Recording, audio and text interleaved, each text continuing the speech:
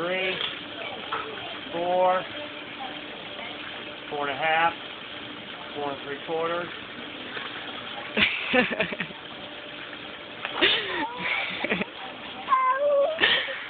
oh, silly boy.